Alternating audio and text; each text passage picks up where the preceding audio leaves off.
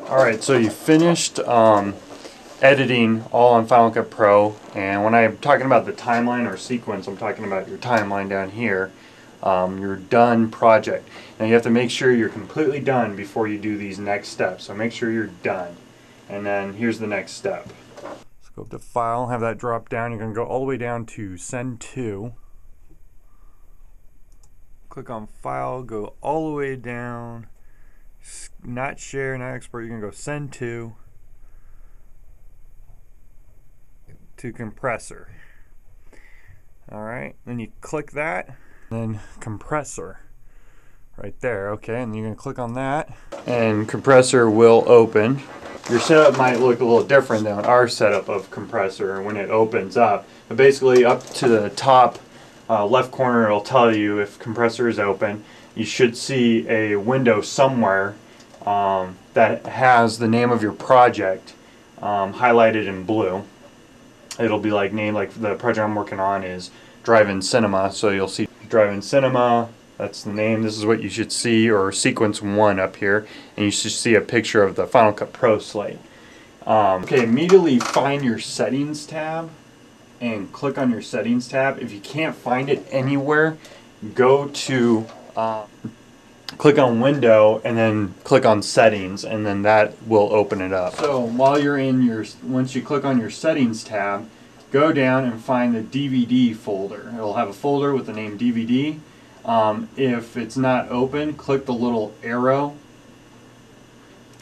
and it'll open up all the different selections and different settings of DVDs underneath that. So now just scroll down to the fastest quality, fastest encode. Now you can do whatever you want, best quality, fastest, but I don't really see a difference. If you have a nice computer, there's not really a difference. So um, what you're going to do is you're going to pick um, DVD fastest encode 90 minutes if your project is uh, about 69 minutes or less. You're going to pick 120 minutes fastest encode DVD if your project is uh, 79 minutes or less. And then if it's any higher than that, you're going to pick DVD fastest encode 150 minutes. So if your project's like uh, pretty long, like almost maybe two hours or so, I would suggest pick, I know you would want to pick the 120, but I would suggest to pick the 150. So figure out um, those settings that I just explained if what applies to your length of project. So what you're going to do is you're going to pick um, the correct DVD fastest encode. You're going to click and drag that over to um, drag in drag settings and destinations here.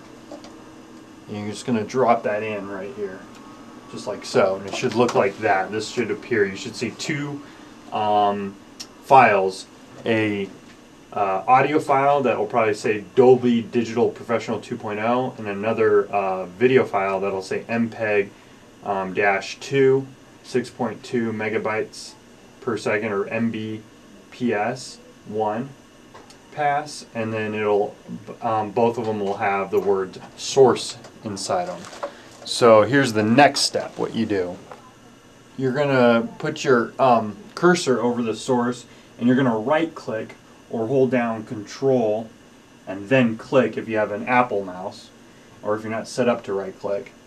So you'll hold down control and then click and you'll get the sub menu and then in the sub menu go to destination go to other and click on other and where you're going to look in this menu is you're going to look to where you want to send these copy data files, these um, files are going to help you make your DVD because you need to send them somewhere. Um, so what you're going to do is you're going to pick either your Macintosh HD drive or the desktop, or if you have an external drive you want to save everything to, go to your external drive. And um, and then with once you figure out what drive or where you want to save it, always create a new folder when you're doing this step.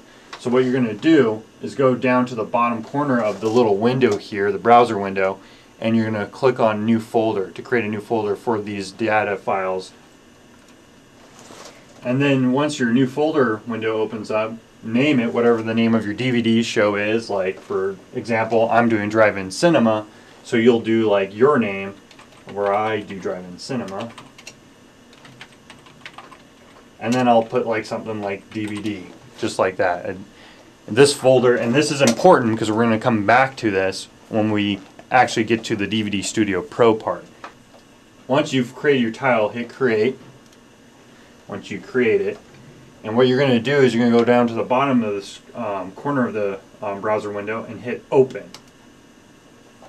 And what should happen is right here in your little uh, window where it once said source on your audio file and your MPEG video file, it now should say the name of that new folder you created.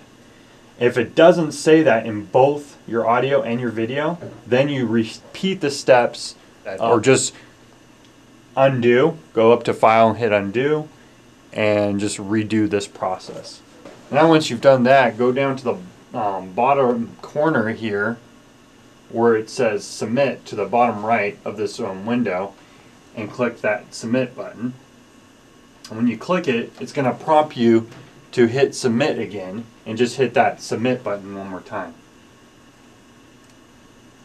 And then wait and it's going to start processing and you might see this little processing it'll say compressor processing audio or video or whatever now there's a way so you can kind of see the progress of your compressor through the batch monitor that's up here located on the same window we just clicked submit on.